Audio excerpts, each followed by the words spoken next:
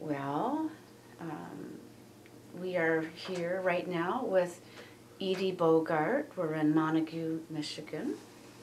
And this is Tanya Kabala, and the videographer is Oscar Osbo. Uh, we're conducting the interview for the White Lake Environmental History Project, and just want to check with Edie to see that she's read the legal release and, and signed that. Yes, I have. Well, thank you very much. And just to get started, if you could tell a little bit about, you know, where you were born, some of your family details, if you lived here um, um, all your life, or just a little bit about your, your background. I was the last of six children born to Elsie and August Lehman, and I was the only one born in the hospital, which was in Shelby, Michigan, rather than where we lived outside of Montague, Michigan. I've lived here most of my life except during the years when I went away to college, and my husband and I had lived elsewhere. Um, that's and then we, we came back here permanently in 1973. Do you have family in the area? I certainly do. I, my parents have, are deceased. Three of my siblings are deceased, but I have a brother and a sister that still live in the area. And we just uh, interviewed your brother Frank, who lives down the road from you. Yes. Okay. Can you talk a little bit about your any of your earliest memories of White Lake, if you have them? I my earliest memories are mainly of just being on the farm um, and going to school in Montague. Uh, I never went to swim in White Lake. It was beautiful. We drove by it, but I didn't have any uh, real deep connection with the lake itself until later when there was concern about pollution. Um, what was the community like when you were growing up? Do you, remember that? I remember it as being a very loving community, a very warm-hearted community, uh, all-white community, and there's a little bit of an interesting story about that. But uh, the farm community was very um, hardworking, honest people. Do you um, do you remember some of your first thoughts when you first heard of Hooker Chemical and maybe DuPont coming to town? My earliest recollection would be of Hooker because my, my father, August Lehman, was township supervisor at the time when Hooker courted the community because they wanted to uh, build a facility here. My father thought it would be a wonderful opportunity to improve the economics of the community. It would give a, a strong, stronger tax base, and it would give employment. And at that time, the agrarian community was starting to become smaller, and the the rural community was becoming smaller, and was becoming more of a bedroom community outside of Muskegon. And so we thought this would be a good way to grow the community. What kind of things did Hooker Chemical do to court the community? I was pretty young at the time, so that's hard for me to answer. I do remember vaguely my father meeting with them. It seems like some from somebody from the the organization or the the organization is what I want to call them, but somebody from the the Hooker Chemical. Seems like they were even at the house at one time, but that might be a childhood vague recollection. But I do remember my father being courted by Hooker and him feeling it was a positive thing. Do you, um, you know, did you see anything changing in the community as when the companies came to the area? It was a very positive uh, thing for the community because it helped the tax base of White River Township, which it's located in, and uh, everything was, was really fine at that time. There was no awareness of any um, pollution taking place. I don't think we become suspect to it until Love Canal became a real issue. Well, and actually, um, and I'm wondering if maybe you're thinking about DuPont because DuPont is in White Mhm. River Township. Exactly, yes. Oh, you're right about that. Um, what, um, what did you first hear about the pollution problem and how did that make you feel? Unfortunately, I hate to admit this, but it didn't have a large impact on me. Um, I was busy raising children at the time and working full time at the hospital. It was my husband that was more concerned about the issue of the pollution, and he was concerned about it for the for the children as well as the community, and um, took took part in some of the the um, Some of the protests. the protests. Yes. Well, can you tell us a little bit about your husband? My husband was an activist, and wherever he saw uh, a need or a, a problem, he would tackle it full force. Um, it wasn't just the matter of the chemical plants, it was also a matter of, um, at the time, there was a war going on in El Salvador and Nicaragua, and the children were being left homeless and orphaned, and there were terrible atrocities. And I don't totally understand the connection we had with it, but my husband did, so he uh, went out and pursued um, vigorously bringing that to the forefront of people's uh, sensitivities. And let's see, so that was, yeah, there were, I could go on Yeah. Many stories, and I won't do that because it take too much time. Well, what kind of things did your husband do uh, related to the pollution?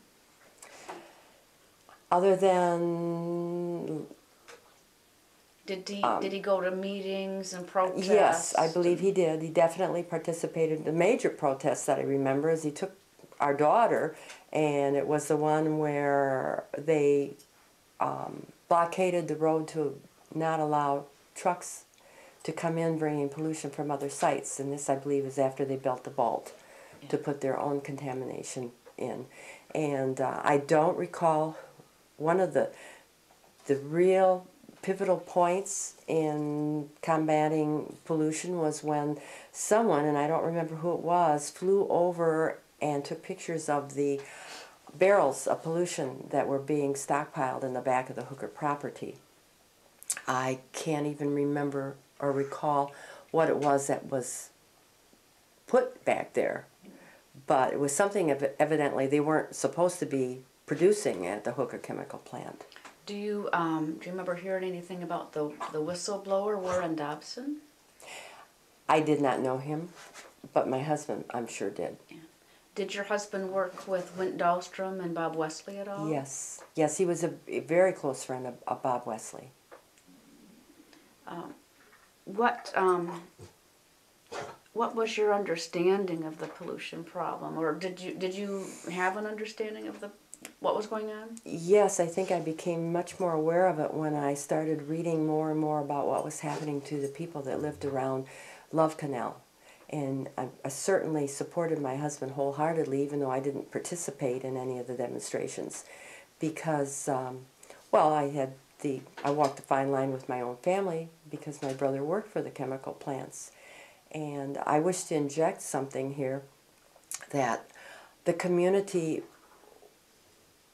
was very provincial and naive. And I don't mean that in a disrespectful way. I actually mean it in a very admirable way. They couldn't believe Hooker wouldn't would could possibly do something under undercover and behind people's back that were going to destroy the, the beauty and, and pollute the community. So they believed everything that Hooker fed them, which we later found out were a lot of them were lies. And uh, but the community was of the old mindset where when you shook hands on something, a handshake was a binding contract, and uh, they I don't think the the community many in the community could possibly believe that Hooker would do something undermined and of course we all know they did. Do you think um, do you think attitudes in the community have changed at all? it's there's been enough time that has passed that I think it's been kind of a lot of it has been just not thought about. But I think the community as a whole has rallied in wanting to clean up this area because they now rely so much on tourism rather than chemical plants, which no longer exist. And it's very, very um, important for the community now to make sure it's a clean environment. And uh, yes, I think they really have turned around in that respect. How, how do you think the, the, the pollution problems affected the White Lake area as far as its image or, you know, things like that? I think enough time has passed that the image is not up in everybody's face anymore. And so I think it's probably a community that's that's looked very well on. I, I think it's um, I think it's a community that is gaining respect because they're working so hard to clean it up. Um, way back in the day, I remember when they had to put wa- um, city water out to Blueberry Ridge because their wells were contaminated. And the area around where I, now I'm not sure if it's around DuPont's village or Loop, the discharge into White Lake, uh, nothing could grow there, uh, both floral or fauna. Um, it, it was it was a hard it was hard work to clean up White Lake because they not only had to clean up from the chemical plants, but they had to clean up from the tannery also. And um, it's been a long haul, but I think it's being very successful.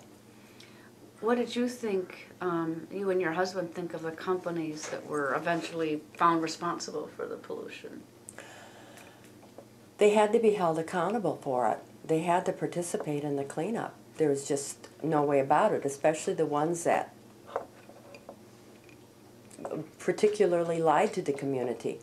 Now, there were some issues which were just uh, the fault of the times. For example, the, the tannery and the tanning of hides. Uh, I don't think anybody really had any idea, including the company itself, that they were really going to be destroying as much as they did. And ignorance is not always forgiving. You, you know, you can't always forgive ignorance. You can only forgive it up to a point, and then when they become aware of what they're doing to a community, then they have to step up to the bar and say, "Oh, this is what's going on. Maybe we better make some changes." And um, it's been, but it's basically been up to the community to bring about those changes rather than the companies themselves being forced into it. Now, you knew, you know, people who worked at these places. Was there, were there ever any conflicts, or um, was it hard to, you know, kind of navigate the that issue? The conflict over Hooker, I think, particularly became almost violent because the, the local paper that tried so hard to present the facts to the community to make us realize what was going on, the editor of that pa- uh, paper was threatened. Um, it became very confrontational.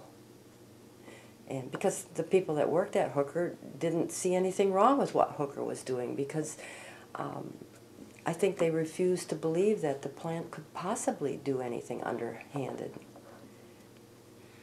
Why, um, why do you think uh, your husband had a different viewpoint? I think my husband's viewpoint was different because he was born in Chicago. He, we lived, even when we were married, lived um, different places in the United States. And he was much more aware of the dishonesty that can occur in these companies that want to make their millions of dollars off the back of the local areas. And so he was much more aware of the possibility that things were not what they appeared on the surface. So when, when concerns were raised, it was easier for him to believe them. Correct. But he also liked to investigate. He loved to investigate things. So I'm sure he was really in on a lot of the investigation. In fact, I, I don't know if he ever saw the barrels himself because it seems like he tried to sneak in to, uh, to see for himself what was going on. And I know he saw the aerial photos, and, and I don't recall who did those. Do you, do you think that if there were other companies, possibly chemical companies in, coming into the area, there would be a, a different approach taken? Oh, I do believe that. I do believe that. I don't think the community would disallow something coming in, but I think they would do a whole lot of research first. um, this part of West Michigan, and it's not even just the White Lake area, but this whole part of western Michigan from Muskegon up through our area is, has been noted for having all kinds of pollution problems. I mean, there's other companies that had come into this area too because they saw, oh, this area is going to let us come in and and do our jobs and we'll offer work and we'll give them a good wage and we'll tell them all this stuff and we can make our profits right here and set up business. So it wasn't just Hooker and, and DuPont and um, I remember the third one. The tannery. Well, the tannery, but that was that was here for a long time. That that goes back to when we used to rely on tan goods. No, the, there was another one out. Ott Chemical. That was it. Well, Muskegon Chemical. Muskegon Chemical. and Ott Chemicals in North Muskegon. okay. What, um, you know, what changes do you see for the White Lake area in the future? I see very positive changes. I think the community will never allow the wool to be pulled over their eyes, so to speak, an old expression. I think they're going to um, be much more aware from now on of what is good for the community. And do you, um, what do you think is the community's greatest need in, in relating, in relation to environmental protection? Just to stay aware and not let anything happen any longer that we, we are, can't be held accountable. Do you have anything you would like to add that I didn't ask you? just that this is a wonderful community. It's a beautiful community with beautiful people and a beautiful environment. And I'm very happy that people are, are wanting to protect it and preserve it and keep it well for our for posterity. Thank you very much. You're welcome.